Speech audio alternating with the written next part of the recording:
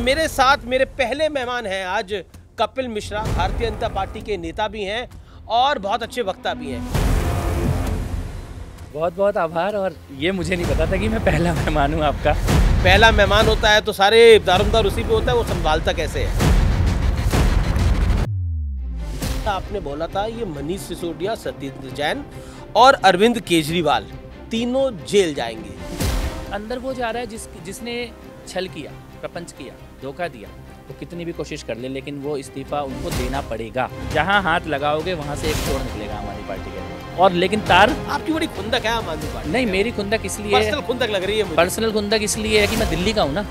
दिल्ली वालों की पर्सनल खुंदक होगी। अरविंद केजरीवाल का मंत्री रिपोर्ट दे रहा है कि शीला के कार्यकाल में घोटाला हुआ तो अरविंद केजरीवाल मेरे को बुला के कहते हैं कि तुम ज़्यादा स्मार्ट बन रहे हो। शीला के भ्रष्टाचार की जाँच ये तो हमने वादा किया तो केजरीवाल ने मुझसे एक बात बोली थी जो मैं आपके चैनल पर कहना चाहता हूँ उन्होंने बोला कि केजरीवाल बेशक जेल चले गए लेकिन उनकी आत्मा यही उनकी आत्मा है। ये बाबा है क्या कोई? ये बंगाली बाबा? बंगाली बाबा वो पाउडर बेच रहा है? कैसी बातें हैं आपसे कभी आपके साथ ऐसा हुआ? बीजेपी चुनाव हार गई और आपको किसी रिश्तेदार की शादी पे जाना पड़ गया और वहाँ पर उन्होंने बोला कि आइए डांस करिए। जब ढोल बज रहा है तो तो ये होता है कि आपने एक बहुत अच्छी मुहिम चलाई और आपकी मैं ये तारीफ़ करना चाहता हूँ। आपने जो मंदिरों को साफ़ करने की बात की ये बहुत अच्छी की लेकिन एक मन मन में सवाल आया कि मोदी जी को इम्प्रेस करने के लिए सब कुछ किया गया। देखो ये कितना अच्छा सवाल है। आपकी नानी खुश थी राम मंदिर बनने पे? हाँ मेरी नानी नाना दादा दादी सब बहुत खुश थे।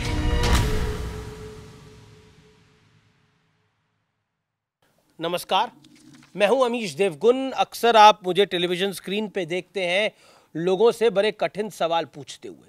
लेकिन एक प्रयोग आज हमने करा है और मैं एक पॉडकास्ट लेकर आया हूँ, जिसमें मैं कठिन सवाल तो पूछूँगा ही, लेकिन कुछ सरल सवाल भी पूछूँगा। जीवन का ज्ञान भी देने का प्रयास करूँगा। और मेरे साथ मेरे पहले मेहमान हैं आज कपिल मिश्रा, भारतीय जनता पार्टी के नेता भी हैं और बहुत अच्छे वक्ता भी हैं। कपिल जी, आपका अभिनंदन है इस पॉडकास्ट में। बहुत बहुत आभार और ये मुझे नहीं पता था कि मैं पहला मेहमान हूँ आपका देखिए इसलिए इसलिए जो जो पहली गाड़ी होती है पहला मेहमान होता है तो सारे आ, सब कुछ दारोमदार उसी पे होता है वो संभालता कैसे है? नहीं मेरा सौभाग्य है कि आप ये नई स्टाइल में जो प्रेजेंट कर रहे हैं वैसे भी हम सब आपको देखते हैं हमेशा से और उसमें मैं आपके सामने इसमें पहले एपिसोड में हूँ तो बहुत बहुत आभार इसके जी लेकिन देखिए एक चीज़ मैं आपसे पूछना चाहता हूँ जो कि आ, मैं आपका बयान देख रहा था। मैंने सोचा कि शुरुआत कहाँ से करूँ आज के सवालों की तो बहुत सोचा सोचा कि आपके जीवन पे पूछता हूँ। फिर आपके छः साल पुराना मैंने बयान सुना जिसमें आपने बोला था ये मनीष सिसोदिया सत्येंद्र जैन और अरविंद केजरीवाल तीनों जेल जाएँगे। इस दावे का राज राज क्या है कपिल मिश्रा? देखिए चले गए हैं तीनों जेल? तीनों जेल में हैं छः साल के अंदर जेल में हैं।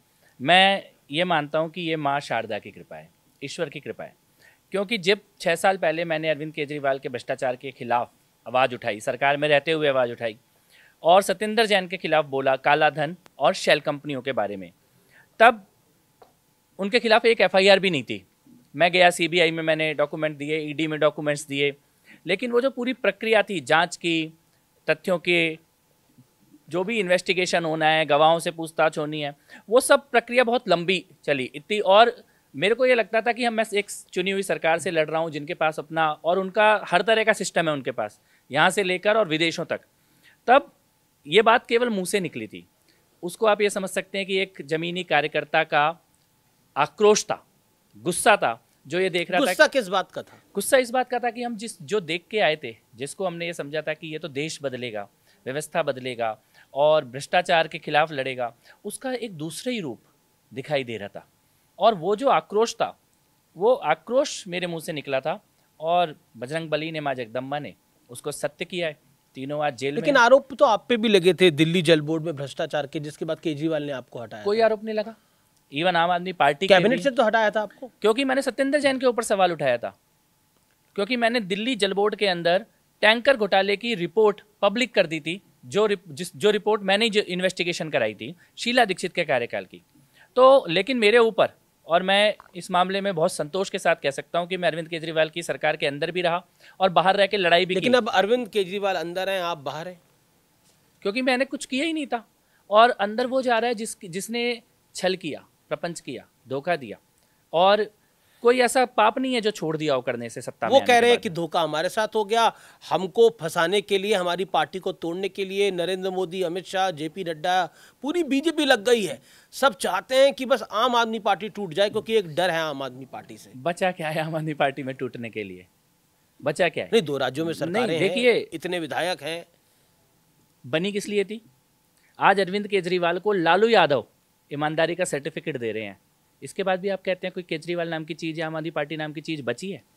राहुल गांधी उनके उनके सपोर्ट में उनको राहुल गांधी की ज़रूरत पड़ रही है। उनको ये डीएम के पार्टी की ज़रूरत पड़ रही है जहाँ पे ए राजा जैसे लोग बैठे कह रहे हैं कि हम सत्ता से लड़ाई लड़ रहे हैं तो हैं। मैं तो ये कहता हूँ कि अरविंद केजरीवाल के लिए चुल्लू पर पानी में डूब मर जाना चाहिए अगर तुम्हें लालू यादव से ईमानदारी के, के सर्टिफिकेट लेने के दिन आ गए हैं तो इतने दुर्दशा किसी दुश्मन को भी ना दिखाए ईश्वर। लेकिन आरोप तो आपने आपने भी एक आरोप लगाया था कि दो करोड़ रुपए वाली बात कही थी। वो क्या वाक्य था कहाँ है वो आज व्यक्ति? जेल के अंदर है ना? जेल के अंदर है वो व्यक्ति। लेकिन आप साल भी से नहीं कर बाहर पाए। आया। साबित करने के लिए अरविंद केजरीवाल आते हैं ना सामने उनके घर के अंदर की बात थी ना?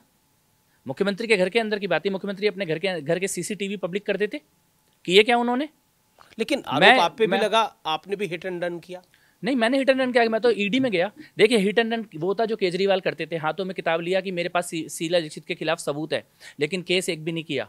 मैंने जब भ्रष्टाचार के आरोप लगाए तो केस भी दर्ज कराए और जिन पे लगाए, वो जेल तक पहुँचे हैं। अरविंद केजरीवाल ने जिन पे भ्रष्टाचार के आरोप लगाए, कोई जेल नहीं गया है। लेकिन मैंने जिन पे लगाए, वो तीनों जेल के अंदर बैठे हुए अच्छा एक बात बताइए, क्योंकि आप तो केजरीवाल के संघर्ष के दिनों से उनके साथ ही रहे, उनके बुरे वक्त में भी साथ रहे, उनके अच्छे वक्त में भी साथ रहे, अब उनका फिर बुरा वक्त देख रहे हैं। मैं एक सवाल पूछना चाहता हूँ वो जो किताब दिखाते थे शीला दीक्षित के नाम की उस किताब में होता क्या था? अगर सबूत नहीं थे तो था क्या उस किताब में? हम भी वहीं बैठ के देख रहे थे अमीश भाई जहाँ से आप देख रहे थे। हम तो कार्यकर्ता थे ना नीचे बैठ के हम सोचते थे कि तो कभी किताब आपने दिखाई? कि अरविंद भाई कभी नहीं दिखाओ? दिखाई। नहीं अरविंद भाई दिखाओ किताब में क्या है? जब दिल्ली हम भी तो पढ़े। जब मैं मंत्री बना केजरीवाल की सरकार में तो मुझे ये लगा कि हमें तो भ्रष्टाचार से लड़ना ही है। तो भ्रष्टाचार से लड़ने के लिए मैंने एक इंटरनल कमेटी बना दी जल बोर्ड की शीला दीक्षित के कार्यकाल की जाँच की। और उस कमेटी ने एक रिपोर्ट दे दी कि टैंकर में घोटाला हुआ था शीला दीक्षित। शीला दीक्षित के कार्यकाल में। अरविंद केजरीवाल के कार्यकाल में नहीं। अरविंद केजरीवाल का मंत्री रिपोर्ट दे रहा है कि शीला के कार्यकाल में घोटाला हुआ तो अरविंद केजरीवाल मेरे को बुला के कहते हैं कि तुम ज़्यादा स्मार्ट बन रहे हो ये जाँच बाकी मंत्री नहीं करा सकते थे। तो मैंने कहा यही तो हमें करने आया। आए थे? शीला के भ्रष्टाचार की जाँच ये तो हमने वादा किया। तो केजरीवाल ने मुझसे एक बात बोली थी जो मैं आपके चैनल पे कहना चाहता हूँ। जी। उन्होंने उस दिन मुझसे ये कहा कि कपिल अगर मैं तेरे को भ्रष्टाचारी बोलूँगा ना तो तेरे घर वाले भी तेरे पे भरोसा नहीं करेंगे और ये सचिवालय की आठवीं मंजिल से तेरे को कूद के आत्महत्या करनी पड़ेगी। और वो शब्द आज मेरे कान में गूंजते हैं कि वो व्यक्ति का अहंकार था और वो अहंकार आज तिहाड़ के अंदर है। वो वो उसी केजरीवाल को उसके भ्रष्टाचार ने और उसके अहंकार ने आज जेल की सलाखों के पीछे पहुँचाया लेकिन केजरीवाल कहते हैं कि अहंकार नरेंद्र मोदी का है, बीजेपी का है इस शासन का है, इसलिए मेरे को टारगेट किया जा रहा है, क्योंकि मैं सामने खड़ा हूँ। नहीं, नरेंद्र मोदी जी ने कहा था, शराब के ठेके खोलो।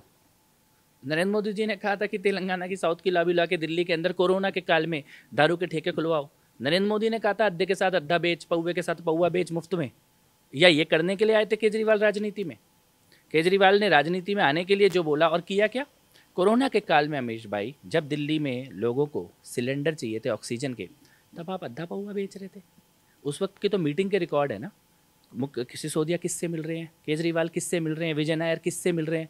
ये सब कुछ दिल्ली में वो कहते हैं कि जिस पार्टी को आप बिलोंग करते हैं बीजेपी को उसने बोला कि उन्होंने इलेक्ट्रल बॉन्ड खरीदे हैं एक आरोपी को क्लीन चिट देने की एवज के अंदर या फिर उसको गवाह बनाने की एवज के अंदर। कोर्ट ने ले, लेकिन शराब घोटाले के बारे में तो नहीं बोल पाए ना? मुद्दा क्या था? केस किस चीज़ का हुआ है? अभियुक्त तो बनकर किस मामले में खड़े हुए हैं? उसके बारे में बोल पा रहे हैं? एक भी एक भी चीज़ बोल पा रहे हैं? मैं एक बात चुभने वाली बात है ये। मनीष जेल गए केजरीवाल ने कुछ नहीं बोला। सत्येंद्र जेल गए कुछ नहीं बोला। संजय जेल गए कुछ नहीं बोला। खुद जेल गए तो कह रहे हैं मुझे शराब घोटाले का सच पता है मैं सारी दुनिया को सच बताऊँगा। तो इन तीनों को जेल में सड़ा रहे थे डेढ़ साल से सच पता था तो। पहले क्यों नहीं बोलने आए? इसका मतलब आपको कुछ नहीं पता। आप केवल भाग रहे हो एक चोर जो रंगे हाथों पकड़ा जाता है और उसके बाद छटपटाता है भागता है चिल्लाता है हाय मार दिया हाय मर गया वो तमाशा है ये। लेकिन इस तमाशे से कुछ होगा नहीं। सबूत स्पष्ट हैं साक्ष्य गंभीर हैं। गवाह बोल रहे हैं और डिजिटल एविडेंस बोल रहा है कि अरविंद केजरीवाल ने चोरी की है और इसीलिए कहीं से उन्हें जमानत नहीं मिल रही। आप कह रहे हैं डिजिटल एविडेंस कह रहा है कि अरविंद केजरीवाल ने चोरी करी है, लेकिन आप अरविंद के साथ काफ़ी समय तक रहे और उनके साथ आपकी काफ़ी बात भी होगी, काफ़ी विषयों पर भी बात हुई होगी। अभी आपने शीला दीक्षित की बात करी तो शीला दीक्षित के बारे में फ़ाइल आपने भी नहीं देखी थी, लेकिन सब तो बात करते ही थे। लेकिन एक एक करके योगेंद्र यादव अरविंद जी को छोड़ के चले गए कुमार विश्वास ने छोड़ दिया यहाँ तक कि मैं आम आदमी पार्टी के गुरु मानता हूँ अन्ना हजारे को जिनकी वजह से जिनके नेतृत्व में ये पूरा आंदोलन चला उन्होंने भी छोड़ दिया। प्रसाद भूषण चले गए एडमिरल रामदास चले गए। ये लोग कहाँ हैं? आज आम आदमी पार्टी के साथ तो नहीं है आप अलग हो गए। आखिर ऐसा हुआ क्या बीते दस सालों के अंदर कि सब कुछ सब लोग अलग अलग हो गए? देखिए और अरविंद केजरीवाल रहे और उनके साथ उनका एक पॉलिटिकल एटमॉस्फेयर रहा लेकिन वो जीतते गए चुनाव। पंजाब भी जीते दिल्ली भी दो बार जीते। दो बार जीते दिल्ली और एक पंजाब लेकिन 99 परसेंट चुनाव तो हारे हैं वो जो लड़े उन्होंने देश का कोई चुनाव नहीं छोड़ा जो लड़े ना हो। इसीलिए ये कहना कि वो जीतते गए ये दिखाई ज़रूर दे रहा है क्योंकि दिल्ली जीते हैं दो बार और एक बार पंजाब जीते हैं।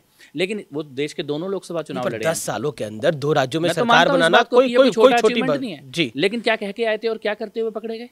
लेकिन तो जनता तो, तो भरोसा कर रही है ना। जनता भरोसा कर रही है या नहीं कर रही है अब चुनाव में पता लगेगा। जी। जब वो अंदर जा चुके हैं या जब उनका भ्रष्टाचार सामने तो आया ये सब लोग क्यों छोड़ते गए? क्या कारण क्या हुआ? पीठ में आपने तो कुमार विश्वास को जाते हुए देखा। मैं आपको बताता हूँ जिसकी पीठ में रीढ़ है एक एक करके सबके और जिसके मुँह में ज़ुबान है जिसके दिमाग में तर्क है वो केजरीवाल के साथ नहीं रह सकता बहुत दिन तक। अगर अगर आप ये बोलेंगे कि कुमार क्यों चले गए तो कुमार ने क्या किया था?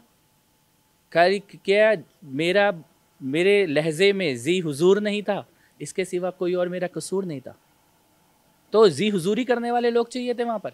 प्रशांत भूषण योगेंद्र यादव आज भी वहीं खड़े हैं जहाँ केजरीवाल खड़े हैं विचारधारा में लेकिन साथ नहीं खड़े रह पाए। तो पीठ में अगर रीढ़ है मुँह में ज़ुबान है और दिमाग में तर्क है तो अरविंद केजरीवाल के साथ नहीं रह सकते क्योंकि वहाँ पर अंध अं, अंधा मतलब केजरीवाल बोले कि ईवीएम फिक्स है तो सौरभ भारद्वाज खड़ा होकर वो गत्ते की ईवीएम लेके खड़ा हो जाएगा और दिखाएगा ईवीएम फिक्स है। इस तरह के अतार्किक इलॉजिकल और आप पढ़े लिखे होने की बात करते थे आज आप दिल्ली को दिल्ली में लालू यादव का मॉडल इंप्लीमेंट करने की बेशरम कोशिश कर रहे हैं। पर लालू यादव ने इस्तीफा दे दिया था जेल जाने से लालू यादव ने इस्तीफा दिया हेमंत सोरेन ने इस्तीफा दिया इस देश इस देश में जयललिता ने इस्तीफा दिया। जयललिता ने इस्तीफा दिया लेकिन और और कर क्या रहे हैं? आप जेल में बैठे हो भ्रष्टाचार के अंदर पकड़े गए हो अभी जेल नहीं गए ईडी की कस्टडी में हो भ्रष्टाचार में हो आपने उसी कुर्सी पर उसी सेटअप में जहाँ आप मुख्यमंत्री बनकर बैठ के जनता से बात करते थे उस पर अपनी धर्मपत्नी को बैठा दिया।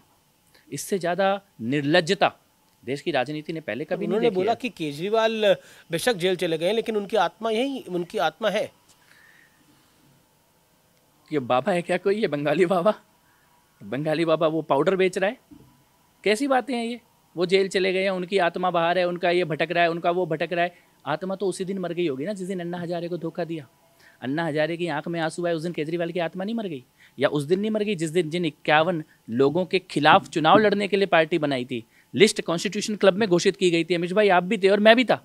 कॉन्स्टिट्यूशन क्लब में अनाउंस किया था ना ये देश के इक्यावन नेता हैं जिनसे लड़ने के लिए आम आदमी पार्टी बनाई गई है। और वो दिन भी तो इस देश ने देखा ना जब उन्हीं इक्यावन नेताओं के साथ मंच पर खड़े हुए थे। लालू जी भी थे शरद पवार सारे थे सारे थे जितने की लिस्ट थी कपिल सिब्बल का भी हाँ। नाम था। और अब तो वो वकील है इनके अभिषेक मनु सलमान खुर्शीद कपिल सिब्बल जैसे लोग। आपको ईमानदारी आपकी ईमानदारी कोर्ट में साबित करने की कोशिश कर रहे हैं।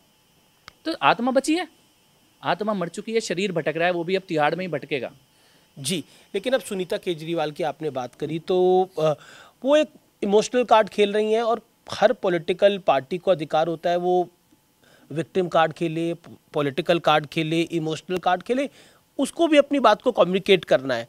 तो इसलिए सुनीता केजरीवाल इस तरह की बात कर रही हैं। लेकिन क्या आपको लगता है जैसा बीजेपी कह रही है आपकी पार्टी कह रही है कि सुनीता केजरीवाल अगली मुख्यमंत्री होंगी? ये किस तरह से आप कह सकते हो? अभी तक तो आम आदमी पार्टी ने कुछ ऐलान करा नहीं शपथ नहीं दिलाई पर उस कुर्सी पर तो बिठाया ना। उसी स्वरूप में बिठाया उसी सेटअप पे बिठाया। जिस सेटअप पे मुख्यमंत्री बैठते थे दो तरफ़ तिरंगा झंडा लगा दिया इधर भगत सिंह जी इधर अंबेडकर जी। और नीचे बैठ के आप ये आत्मा बाबा इस तरह की बातें कर रहे हैं। ये तो सबसे बड़ा बाबा साहब अंबेडकर का अपमान है। इससे बड़ा क्या अपमान होगा? कि एक भ्रष्टाचारी को बचाने के लिए आप उनकी फ़ोटो का इस्तेमाल कर रहे हो? और मैं ये कहता हूँ शपथ आपने ली नहीं है। आप उस कुर्सी पे बैठे कैसे? सुनीता केजरीवाल जी स्वयं भी तो अधिकारी रही हैं अमिश भाई। जी। उनको क्या कुर्सी की गरिमा नहीं पता? तो ये क्या चल रहा है? और फिर ये तो वो अपराध है जिसमें टाइल खरीदने और पर्दे खरीदने के लिए शीश महल के उनके भी जाने की बातें सामने आ रही हैं। अच्छा ये ये जो पूरा शीश महल का पूरी कंट्रोवर्सी हुई ये क्या मकान आपके सामने बनना शुरू हो गया था या फिर नहीं ये उसके बाद बना ना। उसके बाद बनना उसके बाद बना है ये। और आप ये देखिए कि ये क्यों बेचैनी है कि सुनीता केजरीवाल ही कुर्सी पर बैठे क्योंकि जो बैठेगा वो घर उसके पास जाएगा। ये छटपटाहट कुर्सी की ये छटपटाहट है ना कुर्सी की। कोई व्यक्ति ये बोले मैं जेल से सर, जेल से सरकारें चलती हैं जेल से तो अपराधी गिरोह चलाने की कल्पना करते हैं गैंग चलाने की एक्सटॉर्शन के रैकेट चलाने की कल्पना करते हैं। हमने तो नहीं सुना जेल से कोई सरकार चलाने की कल्पना करे। इसका मतलब कि आप पर संविधान में तो कहीं नहीं लिखा कि अगर आप क्योंकि संविधान निर्माताओं ने कल्पना ही नहीं की थी कि कोई इतना भी निर्लज होगा। कैसे लिख देते? वो लिख कैसे देते अंबेडकर बाबा साहब अंबेडकर या बाकी संविधान निर्माता? लिख देते लिखते कैसे जब उन्होंने कल्पना ही नहीं थी की थी कि कोई इतना भी निर्लज होगा जो भ्रष्टाचार में जेल जाएगा और बोलेगा मैं कुर्सी नहीं छोड़ूँगा। सामान्य नैतिकता का तकाजा था कि इस वक्त आपको छोड़ देनी चाहिए। ये आप सामान्य नैतिकता से भी के आज आप अरविंद केजरीवाल के साथ होते। अपने डिफरेंसेस भुलाकर अगर कपिल मिश्रा अरविंद केजरीवाल के साथ होते तो पहली एडवाइस क्या देते? इस्तीफा।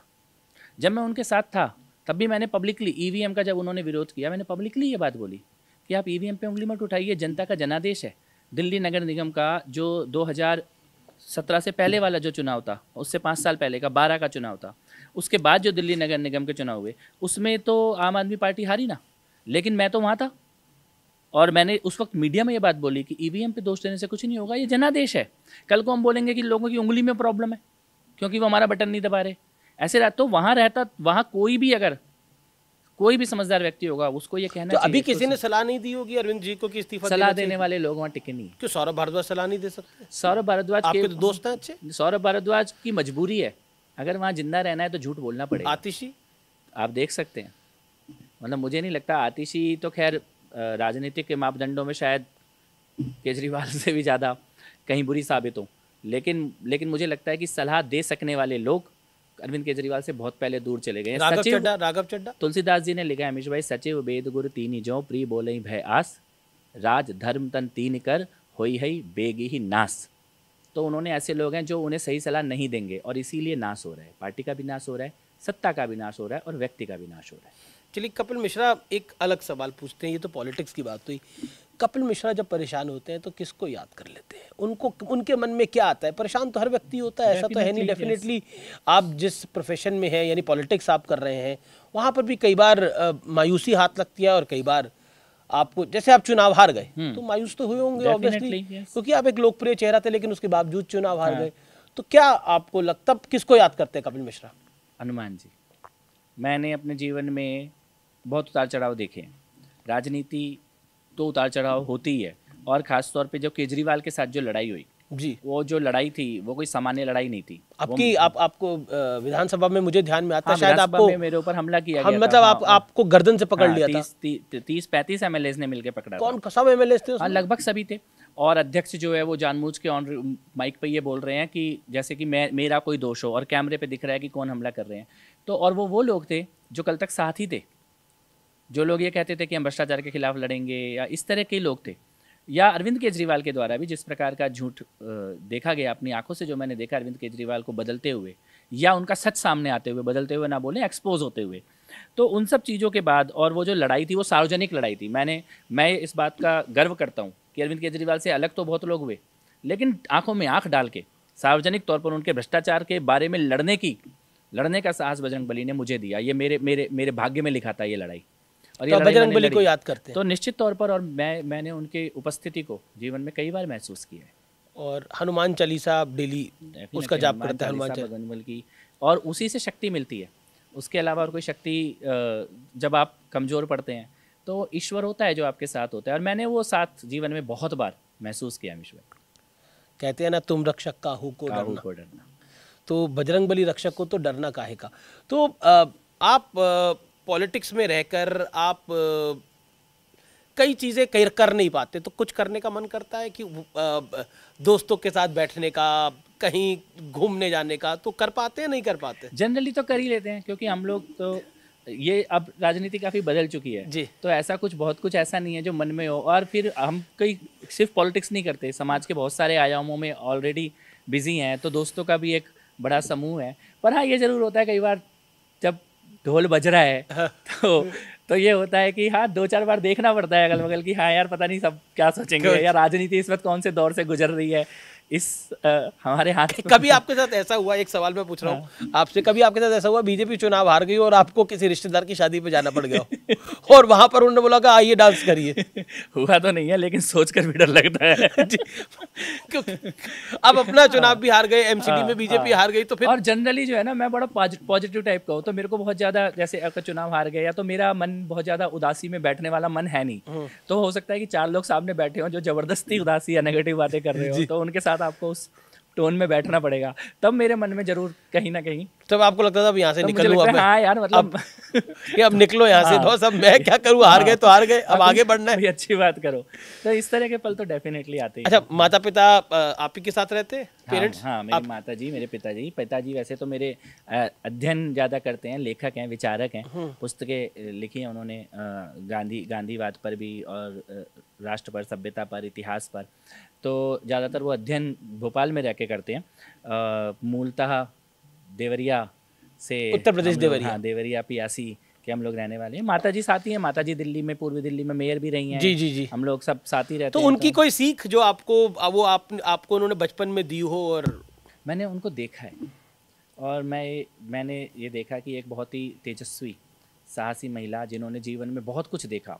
लेकिन हमेशा हमने उनको केवल मुस्कुराते हुए देखा है और वो भी राजनीति में मुस्कुराते तो आप भी रहते हैं। हाँ तो ये उन्हीं का ही है। मेरा साहस मेरा बोलना एक सीख जो आपको लगे उन्होंने दी हो दसवीं बारहवीं में टेंथ या मैं आपको कभी निराश ना होना। और ये सीख उन्होंने बोली तो बोली लेकिन अपने जीवन में मैंने उनके जीवन से इस चीज़ को सीखा।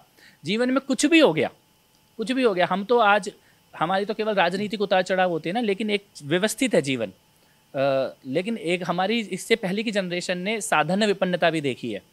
बहुत कष्टों से यहाँ तक आए हैं दिल्ली आना गाँव से होकर वो कहाँ देवरिया पियासी फिर ऐसे होते हुए इधर दिल्ली आके बसना रहना वो कष्टों का दौर होता है। लेकिन उसके बावजूद भी शायद हम ज़्यादा निराश हो जाएँ लेकिन मैंने उनको कभी निराश नहीं देखा। तो इस वो अच्छा, आप आप आप निराश हो जाते हैं कभी कभार? कभी कभार तो डेफिनेटली जब जब जब खास तौर पे जब ये पूरा ये लड़ाई थी तो एक दौर ऐसा आया था अमीश भाई जब मुझे ये लगा कि ये बहुत बड़े लोग हैं जिनसे मैं लड़ गया हूँ। ये बहुत बड़े लोग हैं बहुत तो घबराहट शक्तिशाली? लोग हैं। तो मुझे ये ये मुझे ये लगता था कि इस लड़ाई इस लड़ाई को शायद मैं कभी जीत नहीं पाऊँगा। शायद मैं कभी केजरीवाल ने भ्रष्टाचार किया है ये बात कहना और समाज उसको सुने भी और स्वीकार भी करे वो जो एक दौर था वो दौर वो दौर संघर्ष का दौर था। वो वो सहज दौर नहीं था वो आसान दौर नहीं था और उसमें फिर घर में छोटे बच्चे हैं। वो बच्चों धमकी वगैरह आई है आपको कभी? हमला भी हुआ धमकी भी आई और और और बच्चे कौन से स्कूल में पढ़ते हैं इस तरह की चीज़ें पता अच्छा, करवाने एक- की कोशिश। एक एक एक सवाल अभी भी आम आदमी पार्टी के किसी नेता से बात होती है लगभग सभी से होती है। अच्छा, दो चार ये जो कोटरी है हाँ। ये कोटरी छोड़कर। सभी से बहुत अच्छे संबंध भी है बात भी होती है और पीठे पीठ पीछे सब कहते भी हैं कि भाई आपने जो आज जो तब बोला था आज सही साबित हो रहा है। अच्छा तो मतलब उनसे बात होती है और उनका नाम सार्वजनिक तौर पर आप नहीं ले आवश्यकता पाएँगे नहीं है, हाँ। आवश्यकता नहीं है वो भी बेचारे फंस जाएँगे। लेकिन वो सब जानते हैं कौन कौन है मेरे दोस्तों पर। जी जी जी। तो आ, एक एक और सवाल मेरे मन में आता है आपने एक बहुत अच्छी मुहिम चलाई और आपकी मैं ये तारीफ़ करना चाहता हूँ आपने जो मंदिरों को साफ़ करने की बात कही ये बहुत अच्छी थी। लेकिन एक मन मन में सवाल आया कि मोदी जी को इम्प्रेस करने के लिए सब कुछ किया गया। देखो ये कितना अच्छा सवाल है। जी। कि अगर कोई राजनीतिक व्यक्ति ये सोचे कि मेरा जो नेता है वो मंदिर की सफ़ाई से इम्प्रेस होगा जी। तो ये तो बहुत ही बड़ी बात है। मेरा उद्देश्य ये था या नहीं था? लेकिन किसी और पार्टी के नेता के बारे में आप ये नहीं कह सकते कि मंदिर की सफ़ाई करोगे तो तुम्हारा नेता इम्प्रेस होगा। तो कितने गर्व की बात है कि हम कम से कम एक ऐसी पार्टी में तो हैं, जहाँ पे इस कार्य को लोग ये सोचेंगे अच्छा ये सफ़ाई कर रहा है, इसका मतलब ये अपने नेता को इम्प्रेस कर रहा होगा। तो गर्व है मुझे कि कम से कम हम एक ऐसी जगह पर लेकिन मंदिरों का एक मुद्दा ऐसा है जो हम हम सबके करीब है और हमने देखा, कई बार हम लोग उसको अनदेखा कर देते हैं। तो मंदिर की व्यवस्था को लेकर हम लोगों ने ये शुरू किया। अब लगभग दो साल हो गए हैं। हर महीने के पहले रविवार को देश के लगभग एक हज़ार मंदिरों में लोग स्वच्छता सेवा अभियान चलाते हैं। और अभी जब प्रधानमंत्री जी ने इसका आह्वान किया उसके बाद तो ये रिस्पांस बहुत ही अलग स्तर पर पहुँच गया है। अब तो मुझे लगता है कि जीर्ण शीर्ण मंदिर बहुत कम ही बचेंगे। तो मतलब मोदी जी ने आपसे आइडिया लिया? नहीं नहीं ये तो असंभव ही है। हम तो लगभग एक इंडिविजुअल सा प्रयास था। जी। लेकिन हमें ताकत बहुत हमारा मतलब दिल कई गुना चौड़ा हो गया। जब प्रधानमंत्री जी के मुँह से ये आह्वान सुना क्योंकि तब ये समझ में आ गया कि अब ये छोटा नहीं रहेगा। अब सारा देश इसमें शामिल हो जाएगा और एक तरह से ये लोगों के मन की बात एक मंदिर की बात हो रही है तो राम मंदिर के राम मंदिर में जब रामलला की प्राण प्रतिष्ठा हुई तो आपके भाव क्या थे? देखिए सबके भाव जैसे थे वैसे ही थे। लेकिन एक मैंने लिखा था उस वक्त कहीं शायद मेरे फेसबुक पे या ब्लॉग पे भी होगा। तो मेरे मन में ये भाव आया कि तिरुपति में विष्णु जी विराजमान है और वहाँ माँ लक्ष्मी की अभूतपूर्व कृपा है। वहाँ पे सोना चढ़ता है चांदी चढ़ता है। लेकिन अयोध्या में रामलला बाल रूप में विराजमान है। तो बाल रूप में जो माँ की कृपा होगी जो ईश्वर प्रसन्न होंगे चाहे वो हनुमान जी की प्रसन्नता हो चाहे वो लक्ष्मी जी की प्रसन्न वो तिरुपति से भी कई गुना ज़्यादा बड़ी हो सकती है। तो मेरे मन में ये आया कि अयोध्या में रामलला की स्थापना होगी तो वो देवी देवता ईश्वर इस देश पे उनकी जो प्रसन्नता है उनका जो आशीर्वाद है वो किसी और ही स्तर पर पहुंचेगा और वो शायद देश में दिखने भी लगा है। आज से छः साल पहले आठ साल पहले आपने कभी सोचा था कि अयोध्या में राम मंदिर बन पाएगा? मेरे ख्याल से सब लोगों के मन में एक संदेह तो था ही। सबके मन आपके में मन में भी था। हाँ सबके मन में ये संदेह था कि शायद ये बहुत लंबी प्रोसेस चलेगी या जब बनेगा तो तो संघर्ष की स्थिति भी पैदा हो सकती है वाद विवाद विरोध आपकी नानी खुश थी राम मंदिर बनने पे? हाँ मेरी नानी नाना दादा दादी सब बहुत खुश थे। किसी ने वहाँ पे कुछ और बनाने की सलाह नहीं दी। तो सब खुश थे। हाँ कुछ लोगों को नानी याद ज़रूर आई लेकिन अब उनको और नानी याद आएगी। जी एक एक आप पे एक आरोप लगता है कि आप ना बीजेपी का हिंदू मुस्लिम चेहरा भी है तो उस आरोप को उस उस उस विषय को आप कैसे डील करते हैं? देखिए आरोप का कारण क्या है? मैं तो कई बार ये पूछता हूँ कि आरोप का कारण क्या है? किसी पीड़ित को भाई अब दिलबर नेगी जी की हत्या हो गई। जी। तो उनके परिवार की मदद करने के लिए अगर कोई गया तो इसमें किसी के पेट में कन्हैयालाल साहू की मदद करने के लिए कन्हैयालाल साहू जी जिनको गला काटा गया। कोले जी प्रवीण नेट्टारू जी झारखंड में दुमका में जो बिटिया के साथ जिसको जीवित ही जला दिया गया राजस्थान में करौली में पुजारी दिल्ली के जहांगीरपुरी में। तो ये जितने भी मामले हुए तो ये मैंने तो नहीं किया लेकिन मैंने इस इस लोगों से अपील की आह्वान किया और लोगों ने इस इन मामलों में मदद की। या जो हमारे बजरंग दल के थे दिल्ली में मंगोलपुरी में वो राम मंदिर का निधि संग्रह कर रहे थे उनके भी हत्या हुई। तो इन सब परिवारों के लिए जो मदद हुई इसके कारण कोई बोले कि ये कट्टर है या हिंदू मुस्लिम है तो फिर मैं इसको तमगे की तरह फिर ये मेडल है। आप बोलते रहिए लेकिन ये काम कैसे रोक देंगे? दिल्ली दंगों का आरोप एक समय पर आप पे पूरी लगाने का प्रयास हुआ और आपका एक बयान भी काफ़ी वायरल हुआ था जिसमें बोला था कि अगर आप सड़क खरा खाली करा लें नहीं तो डीसीपी साहब हम को तरीका आता है सड़क को खाली कराने का। तो वो पूरा विवाद जो था उसने कहीं ना कहीं आपको एक ख्याति तो दी पॉलिटिकल ख्याति कह सकते हैं लेकिन एक डिवाइड एक जैसे कहते हैं एक डिवाइड का चेहरा भी बना दिया हिंदू मुस्लिम फैब्रिक के अंदर। मेरे को एक बात बताइए कि किसी की सड़क बंद कर दी जाए? बीमारों को अस्पताल जाने से रोक दिया जाए। जी। लोगों को नौकरी और काम धंधे पे जाने से रोक दिया जाए। बच्चों को स्कूल जाने से रोक दिया जाए। तब कोई एक आदमी खड़े होकर ये बोले कि ये सड़क खुलनी चाहिए इसमें हिंदू मुस्लिम कहाँ से आ गया सड़क खुलेगी तो उसमें हिंदू भी चलेगा मुसलमान भी चलेगा। बीमार अस्पताल जाएँगे तो हिंदू भी जाएँगे और मुसलमान भी जाएँगे। सड़क बंद करने वालों की नीयत पे सवाल। और फिर आज तो दिल्ली जंगों की चार्जशीट है ना? आज तो अपराधी सामने है ना? आज तो किसके घर पे पत्थर थे किसके घर पे बम थे वो रिकॉर्ड सामने है ना? ये साजिशें कब रची गई? इसके फंड कब आए? खालिद सैफी का क्या रोल था? दिसंबर में दिल्ली में क्या हुआ? जनवरी में क्या हुआ? उसके बाद के आने पे क्या हुआ, ट्रंप के आने से पहले क्या हुआ? उससे पहले क्या हुआ? तीन महीने चार महीने छह महीने पहले। पूरे देश में क्या हुआ? वो सारा चीज़ अब तो ऑन रिकॉर्ड है। अब तो चार्जशीटेड है क्रिमिनल्स तो आज के आज भी अगर कोई इस तरह के लेकिन कुछ लोग उस सच को स्वीकार नहीं वो आज भी कपिल मिश्रा ने किया कपिल मिश्रा ने किया कपिल मिश्रा ने किया तो मैं ये कहता हूँ कि ये जो तमगा लग जाता है देखिए कपिल मिश्रा ने कि प्रवेश वर्मा ने एक बयान दिया वो वायरल हो गया अनुराग ठाकुर केंद्रीय मंत्री हैं उनका नाम आने लगा। ये जो एक एक जिसे एक ही सांस में तीन चार नाम लिए जाते थे आज उस विषय के बारे में आप क्या कहना चाहते हैं? नहीं मेरे को तो केवल इतना ही कहना है कि हमें मालूम है कि हम किससे लड़ रहे हैं। एक प्रोपोगंडा की मशीनरी है अमीश भाई कभी कभी वो आप पे भी टारगेट करती है। एक मशीनरी है। ये मशीनरी झूठ बेचती है। ये मश, इस मशीनरी का काम है आतंकवादियों को मासूम बताओ।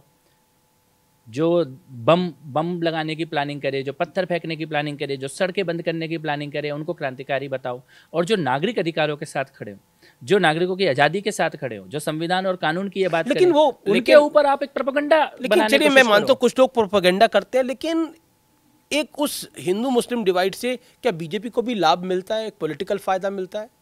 नहीं बीजेपी को फाय, फ़ायदा मिलता तो बीजेपी कर रही होती ना। कर कौन रहा है? कौन कर रहा है इस देश में तुष्टिकरण की राजनीति? कौन ये मान के चल रहा है कि ये 20 परसेंट वोट मेरी जेब में ही जाएगा और किसी की जेब में जाने नहीं दूँगा? कौन ये क- तो आरोप लगता है बीजेपी आप अस्सी एक बात परसेंट आप लोग बताइए अस्सी कि- परसेंट वालों का काम कर रहे हैं? आप एक बात बताइए ट्रिपल तलाक इस देश में खत्म हो? ट्रिपल तलाक एक समस्या है। मुस्लिम महिलाओं की ये समस्या है। जी। इसके इस ये खत्म ही ना हो। इस इसमें लामबंदी क्यों की गई? क्यों की गई इसके लिए लामबंदी? अच्छा ये ये- लिए की गई? आपको टारगेट क्यों किया गया। कारण क्या था? क्योंकि मैं वहाँ खड़ा था। क्योंकि उनको ये हो क्या रहा था तब वहाँ पर? सड़कें बंद थी। लोग अपने पैंतीस लाख लोग जमुना पार के। जमुना पार में पैंतीस लाख की आबादी है और दो ही सड़कों से पूरी दिल्ली से जुड़ते हैं। वो दोनों सड़कें आपने काट दी। आप पैंतीस लाख लोगों को क्या करना चाहते थे? और उसके बाद जो वहाँ पे हथियार निकले जो वहाँ पे बम निकले जो वहाँ पे तैयारी निकली और जो उसके बाद बयान आए अपराधियों के वो बयान तो ये बताते हैं ना कि साजिश तो बहुत गंभीर थी। अगर दोपहर को हम लोग वहाँ नहीं गए होते और वो सड़कें खुलवाने की बात नहीं हुई होती तो रात को वहाँ पे क्या होता? कभी मैं आपको एक एक, एक रिक्वेस्ट करूँगा आपसे। कभी मौका मिले आप यमुना विहार में भजनपुरा में इन क्षेत्रों में जहाँ पे दंगे हुए जहाँ पीड़ित हैं उन क्षेत्रों में आप खुद ही मैं मैंने मैंने मैंने उसको वहाँ पे लोगों से ग्राउंड रिपोर्टिंग करी हाँ। जहाँ पर घर जले थे हाँ। टायर जले तो थे वहाँ पर पूछना मतलब कि अगर अगर कि क्या कल्पनातीत है जो तैयारी की गई थी। ईश्वर ने बचाया है वहाँ पे लोगों को। और सौभाग्य है कि वो दंगे उस क्षेत्र में होकर ही रुक भी गए। आपने प्रोपेगेंडा मशीनरी की बात करी तो आपको लगता है कि आपकी एक साथी नुपुर शर्मा उन पे भी प्रोपेगेंडा मशीनरी हावी हो गई? सारे देश को भावनाएँ लगती और मेरे को ये लगता है कि आपकी बात होती है नुपुर जी हाँ बिल्कुल मेरी बात होती है। नुपुर जी से मेरी बात होती है। मैं मिलता भी हूँ उनसे और वो एक बहुत ही सकारात्मक महिला हैं और मुझे ये लगता है कि ठीक है जो भी जो भी वो वो इस इस दौर से निकल जाएँगी।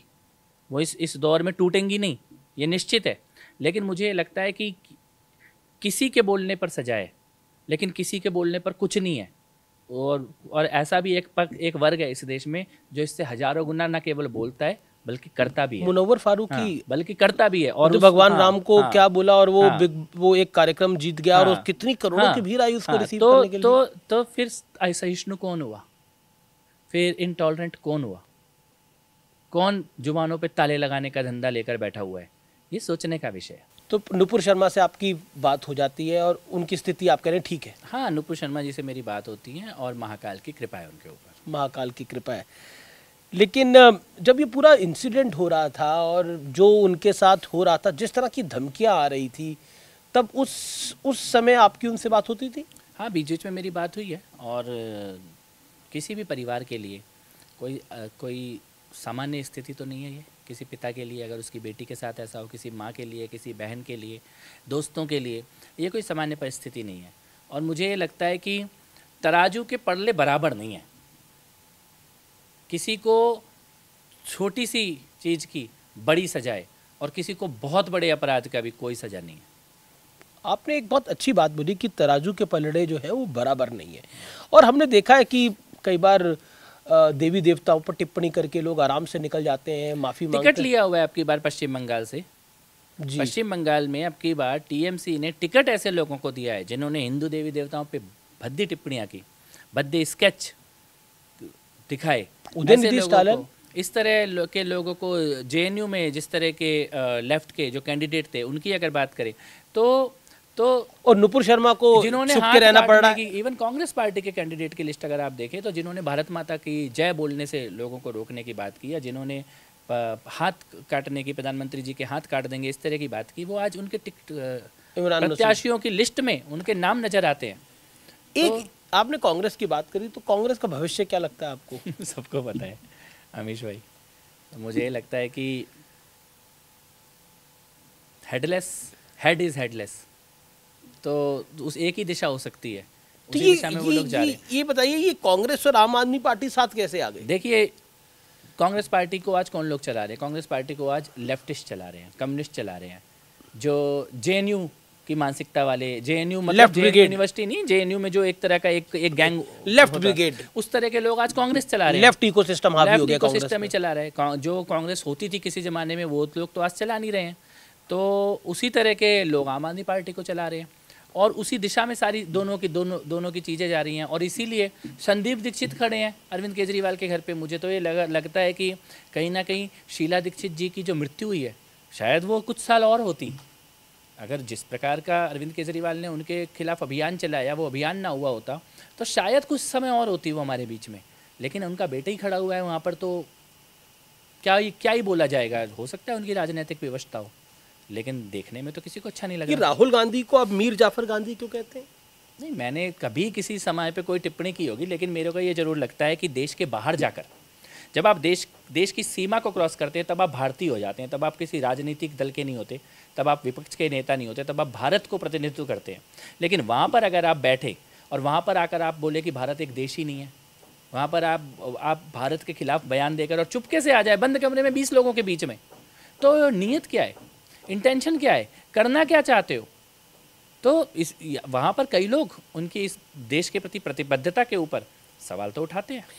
मेरा अगला सवाल आपसे है कि सवाल नहीं है मतलब एक तरह से संवाद है ये और कांग्रेस पार्टी अगर आप कह रहे हैं पॉलिटिकली खत्म है पॉलिटिकली कांग्रेस पार्टी लेकिन विपक्ष अगर होगा तभी तो लोकतंत्र होगा अगर विपक्ष नहीं होगा तो लोकतंत्र क्या होगा फिर? देश का विपक्ष ना हो ना सत्ता का विपक्ष हो। देश का विपक्ष ना कांग्रेस तो कहती है हमारे अकाउंट फ्रीज कर दिए हम ही खत्म करना चाहते हैं वो तो कोर्ट जा रहे हैं ना। आपने नियमों की अवहेलना की है। इस तरह की कोई रियायत आपको दी नहीं दी नहीं जा सकती है। कोर्ट ने बोला है। कानूनी प्रक्रिया, लेकिन मैं कहता हूँ कि आप सत्ता का विपक्ष बनिए ना, आप राष्ट्र का विपक्ष क्यों बन रहे हैं? आप देश का विपक्ष क्यों बन रहे हैं? आज देश में कोई प्लेयर भी अच्छी परफॉर्मेंस कर ले तो आपका मुँह सूख जाता है, आपके चेहरे लटक जाते हैं। कहीं तिरंगा लहरा जाए, देश में पहली बार ऐसा विपक्ष होगा जिसने देश के बाहर, भारत की एम्बेसीज के एम्बेसीज के सामने प्रदर्शन करवाए? ऐसा विपक्ष? इसका मतलब आप राष्ट्र राष्ट्र के विपक्ष में खड़े हैं आप सत्ता के विपक्ष में सत्ता के विपक्ष में खड़े होते तो दुर्गति नहीं होती इतनी। देश विपक्ष का लोकतंत्र में हमेशा एक स्थान रहा है। लेकिन जब आप राष्ट्र के विपक्ष में खड़े हो जाएँगे तो कैसे स्थान बचेगा? और इसीलिए वो स्थान खत्म होता जा रहा है। मेरे को तो अब भी लगता है जो आपने चिंता ज़ाहिर की वो चिंता आप सत्ता के विपक्ष की चिंता है लोकतंत्र में विपक्ष और विपक्ष मेरी मेरी चिंता मेरी ये चिंता है कि अगर सत्ता पे, पे भी कोई विपक्ष नहीं होगा तो सत्ता निरंकुश हो जाती है। तो ये गलती किसकी? ये गलती किसकी? जो जो आप समाज के जनमानस से ही नहीं जुड़ेंगे तो समाज आपको वोट कैसे देगा?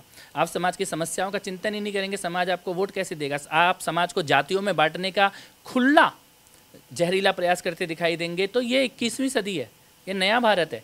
आप फूट डालो और राज करो चल नहीं पाएगा यहाँ पे। लेकिन फ़ूड तो आप पे भी आरोप लगता है कि आप भी फ़ूड डालते हैं हिंदू और मुसलमान के बीच में मैं वापस उस सवाल पे आ रहा हूँ तो फिर आप क्या कहेंगे? मैं तभी तो कह रहा हूँ कि तथ्यों पे बात करें ना। तथ्यों पे बात करते हैं। तो वो कहते हैं हम भी तथ्यों पे बात करते हैं। तो फिर ओबीसी सेक्रेटरी लेके आ जाते हैं तो फिर उनका जनाधार समाप्त क्यों हो रहे हैं? तो फिर अब ये अब वो कहते हैं ईडी सीबीआई का इस्तेमाल है इलेक्शन कमीशन का इस्तेमाल है। अब तो बहुत सारे आरोप और लगते हैं जुडिशरी पे भी कुछ कुछ आरोप लगते ही रहते हैं। देखिए जब आप जीते नहीं तो आप कोई भी वो तो ईवीएम पे भी आरोप लगाते हैं लेकिन चुनाव तो तब भी लड़ते हैं ना। अगर इस देश में सच में ऐसी कोई व्यवस्था होती है कि विपक्ष को लगता है कि चुनाव वो जीत ही नहीं सकते हैं तो वो चुनाव लड़ते क्यों? और फिर वो जीतते भी हैं कई जगह पर। जहाँ जीतते हैं, वहाँ सब कुछ ठीक है। और जहाँ हारते हैं, वहाँ सब कुछ खराब है। तो फिर आप एक तराजू रख लीजिए कि ये चुनाव आप, चुनाव निष्पक्ष नहीं है। तो फिर जहाँ आप जीत रहे हो, वहाँ पर भी उस तराजू का इस्तेमाल करो। जी। चलिए, बिल्कुल आखिरी दौर में तो केजरीवाल के जेल जाने के बाद दो मंत्रियों की बहुत चर्चा है, और वो है आतिशी और सौरभ भारद्वाज। और सौरभ भारद्वाज आपके पुराने मित्र भी हैं। क्या कहना चाहते हैं? इनमें से भी कोई मुख्यमंत्री हो सकता है? देखिए मेरे को सबसे पहले तो ये लगता है कि अरविंद केजरीवाल का इस्तीफा होना सुनिश्चित है। वो कितनी भी कोशिश कर ले लेकिन वो इस्तीफा उनको देना पड़ेगा। पहले वो कह रहे थे कि वो गिरफ़्तार नहीं होंगे तब भी हम लोगों ने कहा था गिरफ़्तार वो होंगे क्योंकि उनके अच्छा, कर्म ईडी से पहले आप लोगों को कैसे पता क्योंकि कर्म दिखते हैं इंसान के। ईडी तो प्रक्रिया पूरी करेगी ना? जी। पहले प्रक्रिया पूरी करेगी सबूत अच्छा फिर ये बताइए अब भविष्य वक्ता हो रहे हैं तो और किस किस के कर्म दिख रहे हैं जेल जाने वाले? देखिए मेरे को मैंने अरविंद केजरीवाल मनीष सिसोदिया सतेंद्र जैन इनके कर्मों को नज़दीकी से देखा। और मैंने ये देखा कि जब आदमी इतनी तेज़ी से गिरता है, जब पतन होता है तो पतन जब होता है तो फिर अंत वहीं होता है। वो उनका अंत उस दिशा में हो गया। और वहाँ बहुत ज़्यादा लोग ऐसे बचे नहीं हैं, जो जो इस चोरी के हिस्सेदार होंगे। अब जैसे कल दीपक सिंगला को पकड़ा गया। दीपक सिंगला को पकड़ा जाएगा तो तार दुर्गेश पाठक तक भी जाएँगे। क्योंकि ये तो सारे बच्चे बच्चे को पता है वहाँ पर कि कौन किससे पैसे ले रहा था, कौन किससे पैसे दे रहा था। जहाँ तक जहाँ हाथ लगाओगे, वहाँ से एक चोर निकलेगा आम आदमी पार्टी के अंदर। और लेकिन तार आपकी बड़ी खुंदक है आम आदमी पार्टी नहीं मेरी खुंदक इसलिए पर्सनल खुंदक लग रही है मुझे। पर्सनल खुंदक इसलिए है कि मैं दिल्ली का हूँ ना। दिल्ली वालों की पर्सनल खुंदक होगी। हमने दिल्ली को बर्बाद होते हुए देख लिया। हमने ये देखा कि एक व्यक्ति देखिए चोरी माफ़ हो सकती है लेकिन भरोसे का जो हत्या होती है ना वो कोई कोई माफ़ नहीं करता। दिल्ली वालों के आंदोलन के एक ऐसे भी तो लोग थे ना अमीश भाई जो अपनी नौकरी छोड़ के आए थे काम धंधा छोड़ के आए थे एनआरआई थे जो आ गए थे, जिन्होंने पैसे दान देने शुरू कर दिए। आज क्यों नहीं आपके, आपको वाइट चंदा, सफ़ेद मेहनत कश लोगों का चंदा क्यों नहीं मिलता? आज क्यों काला धन आ रहा है आपकी पार्टी में? क्योंकि लोगों ने देना बंद कर दिया, आपने छल किया। जो ये बाबा खटक सिंह की कहानी है ना, बाबा भारती की, डाकू खटक सिंह की कहानी, कि उसने उसको बीमार बन के उसका घोड़ा लेके भाग गया, ये दिल्ली वालों के साथ हुआ है। तो दिल्ली वाले छले गए हैं। तो आपको दिल्ली के जो लोग मिलेंगे, उनके अंदर यही आक्रोश मिलेगा जो मेरे अंदर दिख रहा है। तो गुस्सा है आपके अंदर डेफिनेटली गुस्सा अच्छा है एक बार बताइए कपिल मिश्रा गुस्सा तो आता है इमोशनल भी हो जाते हैं कभी रो वो भी लेते हैं कभी कभार जैसा सभी लोग होते हैं कोई ऐसा अच्छा। अच्छा। नहीं लेकिन डेफिनेटली लास्ट टाइम कब रोए थे आप बहुत है मतलब क्या ही देखिए मैं तो मैं तो अभी बता दीजिए। नहीं आँसू तो मेरे उस दिन भी आए जिस दिन अरविंद केजरीवाल जेल जा रहे थे लेकिन हाँ डेफिनेटली वो आँसू तो खुशी के आँसू थे कि- हाँ, खुशी के आँसू थे कि दुख के आँसू थे कि एक मेरा दोस्त अंदर जा रहा है नहीं, नहीं। दोस्त तो थे आपके सही मेरे मेरे को उनके लिए अच्छा हुआ कि वो जेल गए। उनके पापों का घड़ा छल छला गया था। और बाहर रहते तो और पाप करते। अगर एक व्यक्ति के तौर पे जो भी अरविंद केजरीवाल का आपको उनके परिवार के लिए माँ बाप के लिए बुरा तो देखिए मेरे को मैं तो सुनीता केजरीवाल जी के लिए भी बुरा लगता है। वो आज तो वो उनका इस्तेमाल कर रहे हैं जिस प्रकार की नौटंकी खुद करते थे अपनी बीबी धर्मपत्नी से कराने की कोशिश कर रहे हैं माता पिता लेकिन आप एक बात सोचिए ना मैं तो इसलिए कहता हूँ जो भी अरविंद केजरीवाल को व्यक्तिगत तौर पर भला चाहेगा वो ये चाहेगा कि थोड़े दिन जेल में रहे। झटका लगना ज़रूरी है। सत्ता का अहंकार, भ्रष्टाचार, कुछ भी कर दो, जनता को बेवकूफ़ बना दो, रोज़ सुबह उठ के झूठ बोलो। कम से कम दस बीस दिन ऐसे बीतें कि बंदे को रोज़ सुबह उठ के झूठ ना बोलना पड़े। वो उनके शरीर के लिए, उनकी आत्मा के लिए, उनके भविष्य के, उनके जीवन के लिए, वो उसकी भलाई के लिए। मुझे लगता है जो उनको व्यक्तिगत तौर पर जो चाहते भी होंगे ना, वो भी चाहेंगे, भाई, पंद्रह बीस दिन, तीस दिन, महीना, दो महीना तू बैठ। शायद अंदर झटका लगे कि मैं क्या करता था और क्या करने लग गया। चलिए आखिरी सवाल मेरा आपसे है कि एक तो इमोशनल बात होती है दूसरी होती है कि आध्यात्मिक बात। आप अध्यात्म में बिलीव रखते हाँ, हैं? पूरी तरह से। पूरी तरह से। आपको लगता है? में पूजा पाठ में कर्म कांड में बहुत अच्छे से बिलीव करता हूँ धर्म स्थलों में जाने में और मौका मिलते ही जाता हूँ। मेरे लिए छुट्टी का मतलब ही यही होता है कि मैं किसी धर्म स्थल पे गया हुआ हूँ। अगर मुझे मौका मिलेगा तो हफ़्ते में भी तो एक अभी लास्ट किस धर्म स्थल पे आप? मैं तो अभी बाबा बागेश्वर जी के यहाँ दो दिन रुक कर आया। उससे, उससे पहले हम लोग दतिया गए थे। उससे तो एक उससे पहले माई पे। नीम करोली बाबा के यहाँ। कई बार होता है तो ऐसे ही गाड़ी उठा कई बार कई बार मायूस होते हैं तो कहाँ जाते हैं मैं मायूस होऊँगा या खुश होऊँगा? मैं किसी मंदिर में मिलूँगा आपको। अच्छा। हाँ परिवार के साथ या अकेले या किसी एक दोस्त को लिया और गाड़ी लेके ड्राइव पे निकल गए और कहीं ना कहीं या गंगा नदी के किनारे ऋषिकेश हरिद्वार में जाके थोड़े सब थोड़ा एक दिन दो दिन रुक के आ गए। तो ये ये मेरा डिफ़ॉल्ट मोड है। डिफ़ॉल्ट मेरा डिफ़ॉल्ट मोड यही है कि कहीं पर अच्छा ये यंग जनरेशन बड़ी जल्दी मायूस हो जाती है बहुत जल्दी खुश हो जाती है तो इनको क्या आप मैसेज देना चाहेंगे? नहीं ये बात आपकी बहुत सही है और मैं एक मैसेज देना चाहूँगा क्योंकि मेरे मेरे एक बहुत ही अज़ीज़ मित्र के बेटे ने भी अभी आत्महत्या की। तो कुछ कुछ कॉलेज वॉलेज की बात पे। तो मेरे मन में ये विचार आया कि अगर आप वो जो पल है ना तनाव का केवल उसको बिता दो। वो एक दिन दो दिन चार दिन पाँच दिन। और जब आप पीछे मुड़ के देखोगे ना तो आपको लगेगा वो तो कुछ था ही नहीं। उस पल की कोई अहमियत नहीं थी उस तनाव की कोई अहमियत नहीं थी उन कारणों की कोई अहमियत नहीं थी जिसको हम इतना बड़ा समझ लेते हैं कि अपने जीवन से भी बड़ा या अपने प्रियजनों से भी बड़ा अपने माता पिता के प्रेम से अपने भाई बहन के प्रेम से भी। बड़ा मान लेते हैं।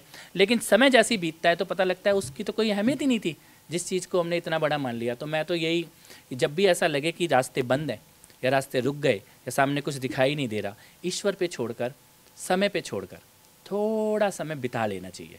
मैं तो कहता हूँ जब लगे रास्ते बंद हैं तो चुपचाप ओम नमः शिवाय का पाठ करना हाँ। चाहिए तो शायद जो बंद रास्ते हैं वो खुल जाए। खुल भी जाते और अगर नहीं खुलने होंगे तो अच्छे के लिए नहीं खुलेंगे। अच्छे के लिए नहीं खुले होंगे। जैसे टाइटैनिक के बारे में एक एग्जांपल देते हैं लोग कि भाई अगर उसने शिप बंद कर दी होती तो और फिर आराम से रुकता है घुमा के ले जाता है तो कुछ नहीं होता। और उसने सारे इंजन ही खोल दिए और जाके मार ही दिया तो शिप गई। तो सारे इंजन ऑन करने की जगह कभी कभार सारे इंजन जीवित रह, जीवित रहूँगे हाँ। सुरक्षित रहूँगे हेल्दी हाँ। रहोगे तो इनका सोल्यूशन भी ढूंढ लूँगा हाँ और वो समस्या कई बार इतनी बड़ी होती नहीं है वो पल बड़ा होता है वो पल वो पल काट लें समस्या इतनी बड़ी नहीं होती बहुत अच्छी बात बोली आपने वो समस्या बड़ी नहीं होती पल बड़ा होता है वो पल काट ले तो शायद वक्त निकल जाता निकल है। है। और हरिवंश राय बच्चन जी है बहुत बड़े कवि रहे अमिताभ बच्चन साहब के फादर साहब और उन्होंने कहा था कि मन का हो तो अच्छा और मन का ना हो तो ज़्यादा अच्छा। ज़्यादा अच्छा बिल्कुल सही बात है। चलिए लेकिन ये हमारे मन का था कि आप हमारे कार्यक्रम में आए और हमारे कार्यक्रम में आप भाग लें और एक जिसे कहते हैं एक ऐसा संवाद करें जो कि पॉलिटिकल भी हो लेकिन उसके साथ साथ युवाओं को भी मैसेज दें। बहुत बहुत शुक्रिया। कपिल जी आपका आने के लिए हमारे मंच पर और अपनी बात रखने के लिए धन्यवाद।